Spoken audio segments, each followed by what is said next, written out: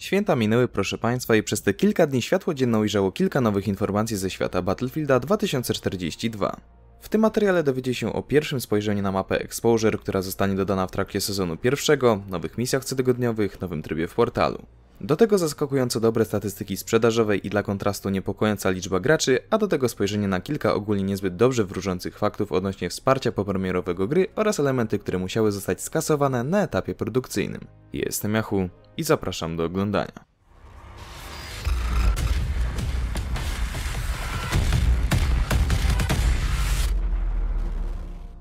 Kilka miesięcy temu i około dwóch tygodni temu informowałem Was o opisie mapy Exposure, wystawienie odsłonięcie, która ma być umiejscowiona w Kolumbii Brytyjskiej w Kanadzie i skupiać się wokół tajemniczej bazy laboratorium, które zostało notabene odsłonięte tak jak nosi zresztą nazwa robocza mapy, przez ogromne osuwisko.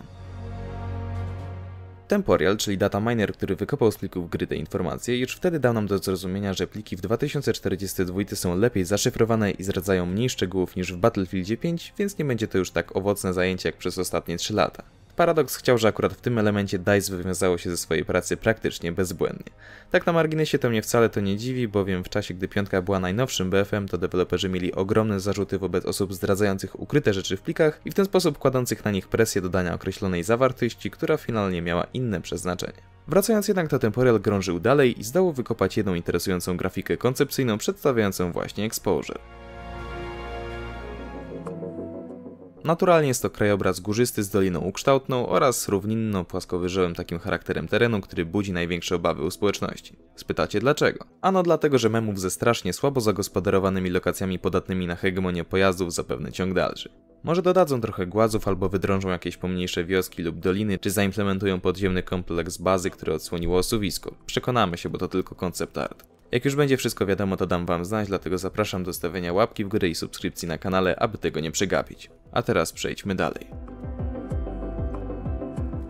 W tym tygodniu do odblokowania jest skin do Bolta, a w czwartek zmiana. Trzeba neutralizować przeciwników bądź reanimować sojuszników, uzupełniać amunicję kompanom i pobawić się ze zdobywaniem baretek. Kilka razy pytaliście mnie co z TDM-em. Otóż DICE postanowiło dodać owy tryb do segmentu Portal. Gramy 16 na 16 na wszystkich mapach dostępnych w grze. Mecze są dosyć szybkie, więc idealnie nadadzą się na jakąś mini rozgrzewkę. DICE jest ponadto świadome, że niektóre tłumiki nie działają poprawnie i pozostawiają nas widocznych na minimapie. Problem został dodany do listy błędów, nad którymi trwają prace. Nie wiem, czy zdawaliście sobie sprawę, ale Battlefield 2042 miał mieć więcej dodanych zjawisk pogodowych aniżeli trąba powietrzna. W planach było trzęsienie ziemi, wręcz apokaliptyczne tornado ognia, tsunami czy erupcje wulkanów. Prezentacja z 2020 roku ponoć to wszystko zawierała. Powód? Brak czasu, co i tak dostatecznie widać. Gra mimo 3 lat potrzebowała przynajmniej jeszcze 12 miesięcy, aby sprostać temu, co zapowiadało jej, no ale jak zawsze trzeba sobie przecież robić pod górkę. No ale to już temat na nieco inny odcinek. Generalnie sprzedaż szła bardzo dobrze, a BF 2042 w grudniowej topce Steama znalazł się na siódmym miejscu, jeżeli chodzi o liczbę sprzedanych kopii. Należy jednak pamiętać, że są inne launchery oraz platformy, gdzie sytuacja prezentuje się nieco inaczej niż tutaj, jednak mianownik jest wspólny. Kopii sprzedano ogrom, doganiając praktycznie w pierwszym tygodniu króla, jakim jest pod tym względem Battlefield 3.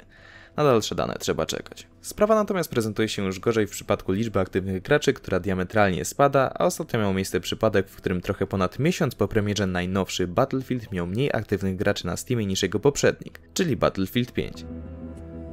Nawet darmowy weekend na Steamie nie zmienił nagle sytuacji, bo graczy było więcej o około 8-10% niż tydzień przed wydarzeniem.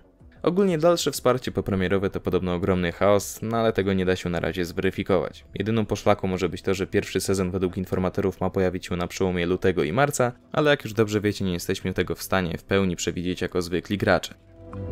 Dajcie tak znać, co o tym wszystkim sądzicie, a w tym materiale też wszystko. Dzięki serdecznie za oglądanie i zapraszam na kolejne odcinki.